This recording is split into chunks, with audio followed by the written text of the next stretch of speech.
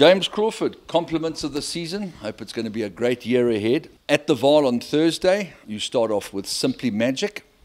Yeah, she's a very nice filly, Bon. Um, I was actually, I thought she would have run a bit better in her last start. She she ran a bit flat for my liking, but you know she ran against some tough competition with the likes of Kinky Boots and Virgin River, which have proven to um, to be quite nice horses. So I think going off of her form in her last run and how she's been performing at home, um, I think it's a matter of time before this filly breaks her maiden.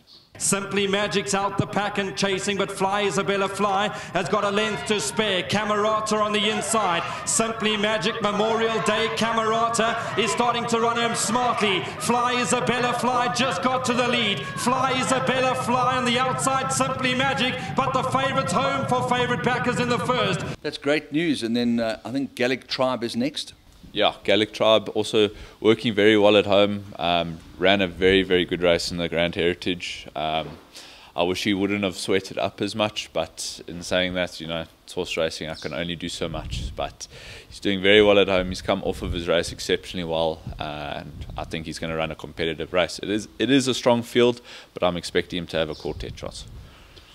Marvellous. And then uh, Global Approach is your final run on Thursday? Yeah, Global Approach is it's, it's his first run out of the maidens. Um, you know, it's a horse that he, he's always going to bring what he's capable of to the racecourse. So I wouldn't say he's without a chance, but uh, you know, it is his first run out the maidens. So we'll see what he's capable of. There's always a, an element of mystique when you do an interview in front of a horse, and this is not just any horse. This is a horse that's come from your dad's yard. Obviously, has bigger fish to fry in the Gauteng summer season. Just tell us very briefly about him. Uh, yeah, Alice Maurice, he's a very, very nice horse, uh, very well bred dynasty.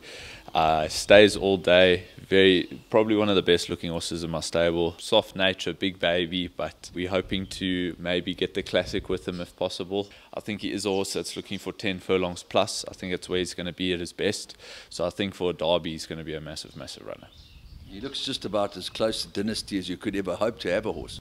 Like I say, Bonnie, he's probably one of the best looking horses in my stable. When when I got him from Cape Town, I said, geez, this thing is to die for. So, I mean, I, I can't complain having him in my stable, and hopefully he can achieve what we're wishing for him.